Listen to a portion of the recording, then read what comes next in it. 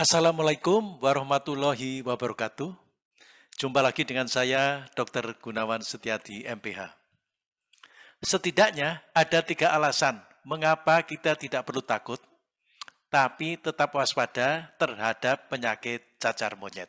Pertama, di negara-negara di mana cacar monyet bukan penyakit endemis, kasus yang telah teridentifikasi terutama, tetapi tidak secara eksklusif, terjadi pada laki-laki yang berhubungan seks dengan laki-laki atau LSL. Mereka teridentifikasi ketika berobat di fasilitas kesehatan primer dan poliklinik kesehatan seksual. Kedua, penyakit cacar monyet tidak menular ketika orang yang terinfeksi tidak bergejala, sehingga kita mudah mengisolasinya. Ketiga, penularan hanya terjadi ketika terjadi kontak erat dengan penderita cacar monyet yang bergejala.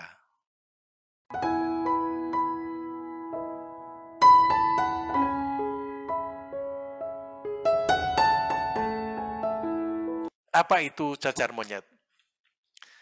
Cacar monyet adalah sejenis zoonosis atau penyakit yang ditularkan dari hewan ke manusia dengan gejala yang sangat mirip dengan pasien cacar, meskipun secara klinis tidak terlalu parah. Dengan terberantasnya penyakit cacar pada tahun 1980 dan penghentian selanjutnya dari vaksinasi cacar, monkeypox telah muncul sebagai orthopox virus yang paling penting bagi kesehatan masyarakat. Cacar monyet terjadi terutama di Afrika Tengah dan Barat. Seringkali di dekat hutan hujan tropis dan akhir-akhir ini telah semakin sering muncul di daerah per sampai lima hari yang ditandai dengan demam, sakit kepala hebat, limfadenopati atau pembengkakan kelenjar getah bening, nyeri punggung, mialgia atau nyeri otot, dan astenia atau rasa lemas yang hebat. Limfadenopati adalah ciri khas cacar monyet dibandingkan dengan penyakit lain yang awalnya mungkin tampak serupa seperti cacar air atau campak atau cacar. Dua, erupsi kulit. Erupsi kulit biasanya dimulai dalam 1 sampai 3 hari setelah munculnya demam. Ruam cenderung lebih terkonsentrasi di wajah dan ekstremitas atau tangan dan kaki daripada di badan. Erupsi kulit ini menyerang wajah dalam 95% kasus dan telapak tangan dan telapak kaki dalam 75% kasus. Juga bagian tubuh yang banyak terkena adalah selaput lendir mulut dalam 70% kasus, alat kelamin 30%, dan konjungtiva 20%, serta kornea. Ruam berkembang secara berurutan dari makula atau lesi dengan dasar datar menjadi papula atau lesi keras yang sedikit terangkat, vesikel, lesi berisi cairan bening, pustula, lesi berisi cairan kekuningan, dan krusta yang mengering dan rontok. Jumlah lesi bervariasi dari beberapa hingga beberapa ribu. Dalam kasus yang parah, lesi dapat menyatu sampai sebagian besar kulit terkelupas. Cacar monyet biasanya merupakan penyakit yang sembuh sendiri dengan gejala yang berlangsung dari 2 hingga 4 minggu. Kasus yang parah terjadi pada anak-anak dan terkait dengan tingkat paparan virus, status kesehatan pasien, dan sifat komplikasi. Defisiensi imun yang mendasari dapat menyebabkan hasil yang lebih buruk. Meskipun vaksinasi terhadap cacar di masa lalu bersifat protektif, saat ini orang yang berusia kurang dari 40 hingga 50 tahun, tergantung dari program cacar vaksinasi cacar di negaranya, mungkin lebih rentan terhadap cacar monyet karena penghentian kampanye vaksinasi cacar secara global setelah pemberantasan penyakit tersebut. Komplikasi cacar monyet dapat mencakup infeksi sekunder, bronkopneumonia, sepsis, ensefalitis, dan infeksi kornea yang bisa berakibat kehilangan penglihatan. Sejauh mana infeksi asimptomatik dapat terjadi tidak diketahui. Rasio kasus fatalitas cacar monyet secara historis berkisar antara 0 hingga 11 persen pada populasi umum dan lebih tinggi di antara anak-anak. Dalam beberapa waktu terakhir, rasio kasus kematian telah berkisar antara 3 sampai 6 persen.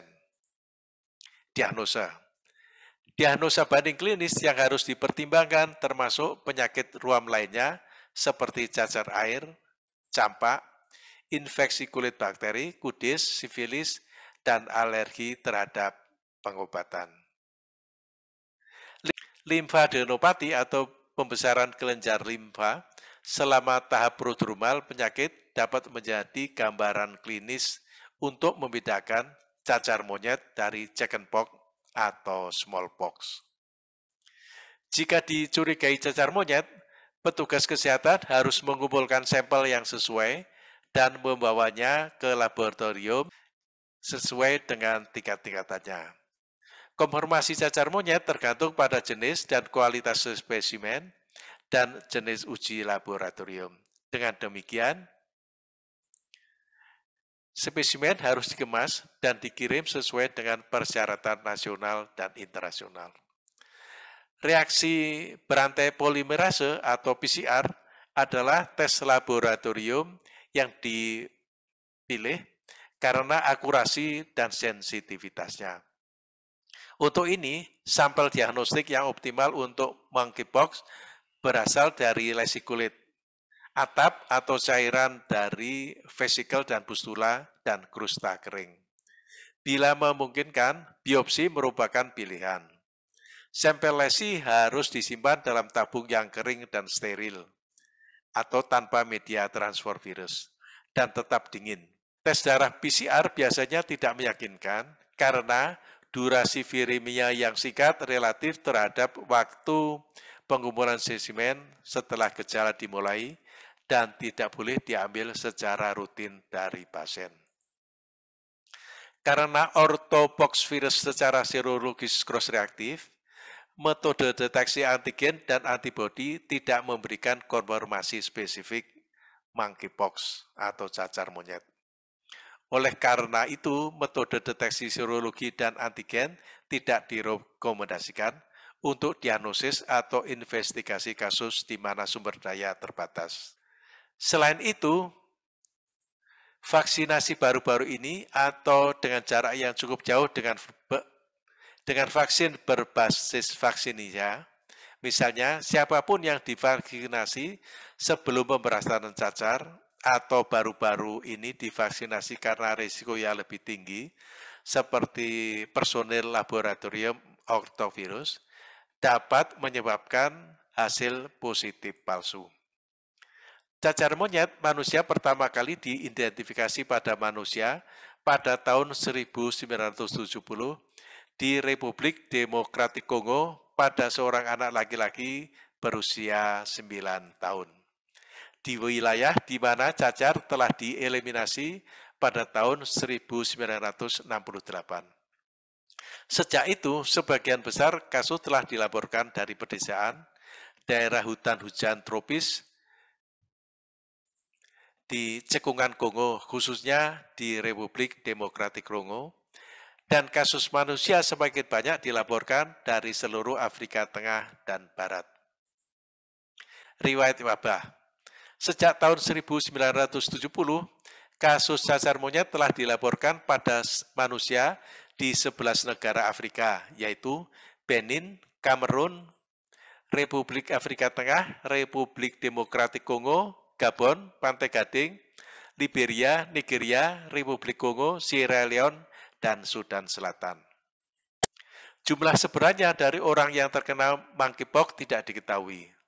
Misalnya, pada tahun 1996 1997, wabah dilaporkan di Republik Demokratik Kongo dengan rasio kematian kasus yang lebih rendah dan tingkat serangan yang lebih tinggi dari biasanya. Sejak tahun 2017, Nigeria telah mengalami wabah besar. dengan lebih dari 500 kasus yang dicurigai atau suspek dan lebih dari 200 kasus yang dikonfirmasi dan rasio kematian kasus sekitar 3 persen. Kasus terus dilaporkan hingga hari ini. Cacar monyet adalah penyakit kesehatan masyarakat global yang penting karena tidak hanya menyerang negara-negara di Afrika Barat dan Tengah, tetapi di seluruh dunia. Pada tahun 2003, wabah cacar monyet pertama di luar Afrika terjadi di Amerika Serikat dan dikaitkan dengan kontak dengan anjing padang rumput peliharaan yang terinfeksi. Hewan peliharaan tersebut telah ditempatkan dalam suatu ruangan dengan tikus berkantung, gambia, dan dormice, dormice yang diimpor ke negara itu dari Ghana. Wabah ini menyebabkan lebih dari 70 kasus cacar monyet di Amerika Serikat.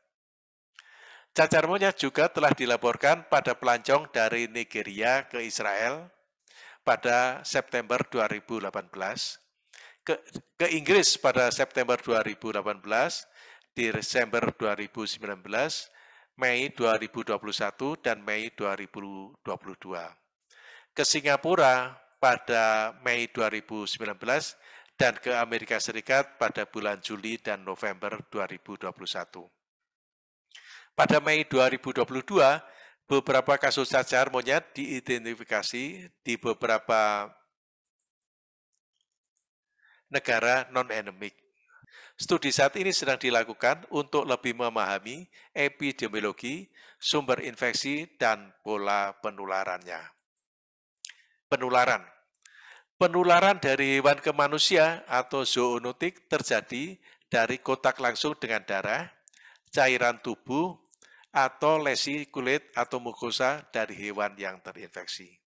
Di Afrika, bukti virus di Afrika, bukti infeksi virus monkeypox telah ditemukan di banyak hewan, termasuk pada tupai. Tupai tali, tupai pohon, tikus rebus gambia, dormice, berbagai spesies monyet, dan lainnya. Reservoir alami cacar monyet belum diidentifikasi, meskipun hewan pengerat adalah yang paling mungkin. Makan yang makan daging yang tidak dimasak dengan baik dan produk hewani lainnya dari hewan yang terinfeksi merupakan faktor risiko yang mungkin. Orang yang tinggal di atau dekat kawasan hutan mungkin memiliki paparan tidak langsung atau tingkat rendah terhadap hewan yang terinfeksi. Penularan dari manusia ke manusia dapat terjadi akibat kontak dekat dengan sekret pernapasan, lesi kulit orang yang terinfeksi, atau benda yang baru saja terkontaminasi. Penularan melalui partikel pernapasan tetesan biasanya memerlukan kontak tatap muka yang berkepanjangan, yang menempatkan petugas kesehatan, anggota rumah tangga, dan kontak dekat lainnya dari kasus aktif pada resiko yang lebih besar. Namun, rantai penularan terpanjang yang didokumentasikan dalam suatu komunitas telah meningkat dalam beberapa tahun terakhir dari 6 menjadi 9 infeksi orang ke orang berturut-turut. Ini mungkin mencerminkan penurunan kekebalan di semua komunitas karena penghentian vaksinasi cacar. Penularan juga dapat terjadi melalui plasenta dari ibu ke janin yang dapat menyebabkan cacar monyet bawaan atau selama kontak dekat selama dan setelah kelahiran. Sementara kontak fisik yang dekat merupakan faktor risiko yang terkenal untuk penularan, tidak jelas saat ini apakah monkeypox dapat ditularkan secara khusus melalui jalur transmisi seksual. Studi diperlukan untuk lebih memahami risiko ini terapi. Perawatan klinis untuk monkeypox harus dioptimalkan sepenuhnya untuk meringankan gejala, mengelola komplikasi, dan mencegah gejala sisa jangka panjang. Pasien harus mendapat cairan dan makanan untuk mempertahankan status gizi yang memadai. Infeksi bakteri sekunder harus diobati sesuai indikasi.